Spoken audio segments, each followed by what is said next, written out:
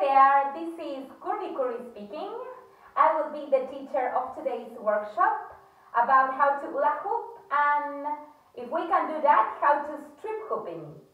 So first of all, I will need you to learn some basic moves for this workshop. We're going to put the hoop around our waist, maybe a little bit here it with my hands the most straight as possible, making this line. My left leg, or the right one, the one that it suits better for you, will be one step forward in a little bit diagonal. So this is my front and my leg will be in a diagonal, okay?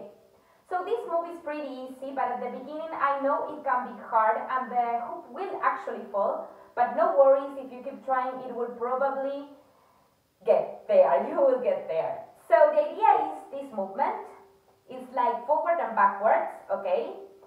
But for you to have a special tip, the thing of this movement is not aleatory. This means that you should do it when the hoop actually hits you. So my hoop will be here and will be here. So when it's here, I need to push it. And when it's here, I push it.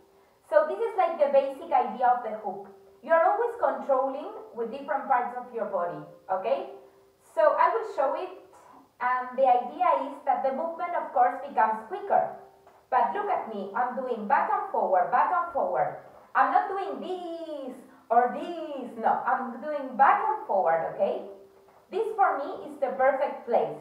Maybe you can find it here or a little bit more open your leg, that depends on you. So um, one another tip I can give you for this basic move is try to grab your hoop. When you throw it, you need to do it straight. I mean trying to draw this line. You need to throw it, okay? So first thing we're going to do is throw it and catch it. I throw it and catch it, okay? This is a little bit hard, but I promise you that if you practice all the moves I show you today, you will get there. So I throw it and grab it. Throw it and grab it. Look at my waist. When I throw it, I'm going to the same place where my hoop, and then I come to the place where the hoop is thrown. So, and I push, okay? And grab it again. So, push here. This is the first move of forward and backwards. So maybe it's a little bit busy this workshop, but people who may try hula hoop once in their life, I think it will be very easy to do this.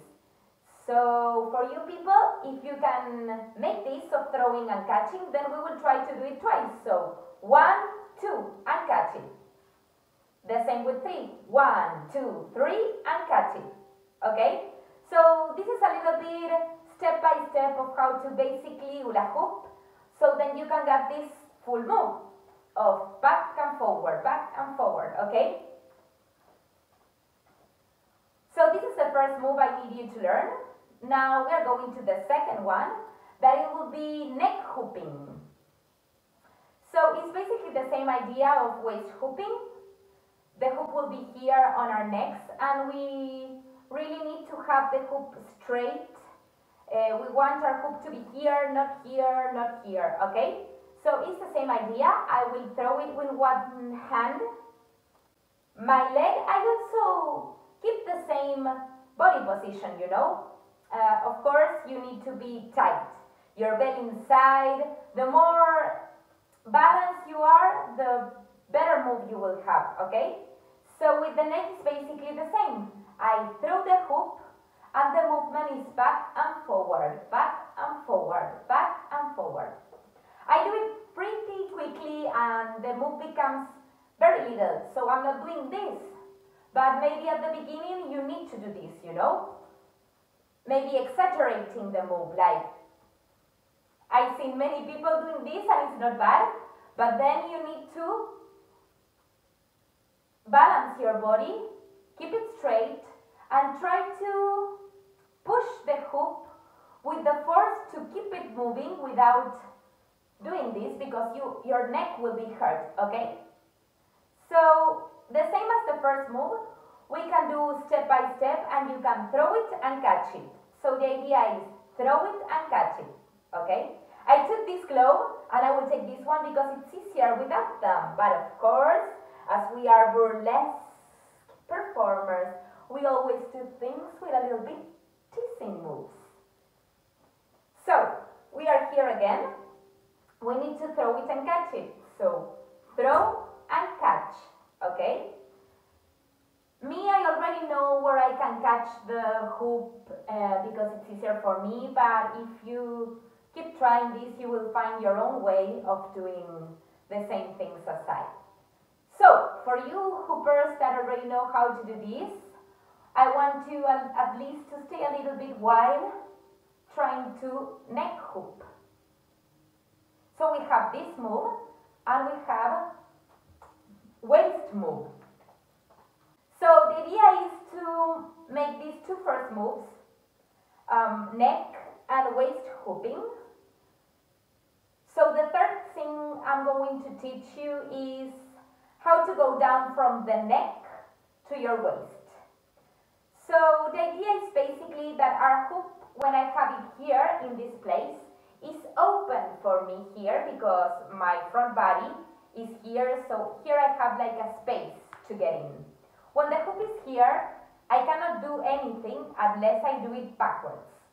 So, we need to try to see that other moves will happen in this place. When my hoop is open, open, open. Okay? I know it's a little bit hard, but okay, so that's why this is a workshop to learn. So I will try to get in with my hands when my hoop is open. So I'm here on my neck, and when my hoop opens, I will try to get in. And actually, the hoop goes directly to your waist. At the beginning, it's a little bit hard, and I can promise that then it will get very easy. Okay, so here are the three moves we need to learn for today. It's a little bit of weight, waist hooping, neck hooping, and going from the neck to the waist. Of course, you can check more tutorials and you can ask me if you are really interested of this for me to show you a little bit more in detail, but so as it's a small workshop, I will try to be as fast as possible. So now the idea is to do a little bit strip, um, to take our clothes while we hoop.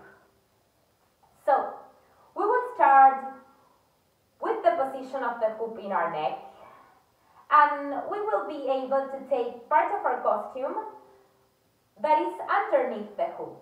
So, if you got this move already easily and controlled, you can play a little bit of making circles around show your amazing body. Here, if you are balanced and you can move freely your hands, you can start taking your clothes. So for me, my corset is really easy to take and I can take it directly to the audience. Woo! My hoop's still here, that's the idea of hooping stripping. so the next move, we will make go down our hoop to our waist.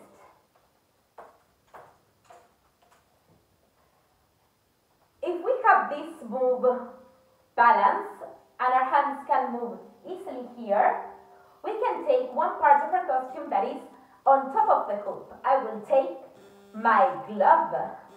So now I can take it directly to the audience. Woo! Ah.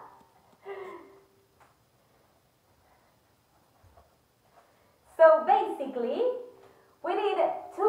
hula hoop moves and um, we did a little strip that we can keep taking our clothes in different parts of our body.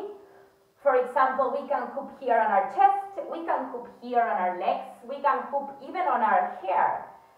So, so this was the workshop for today of how to strip hooping. I want to thank Sapphira for inviting me to teach this small workshop and I hope you can really get to strip hooping and um, I will be very happy to see you again on stage. So let's be confident, let's share love, share knowledge, and I see you soon. Thank you very much.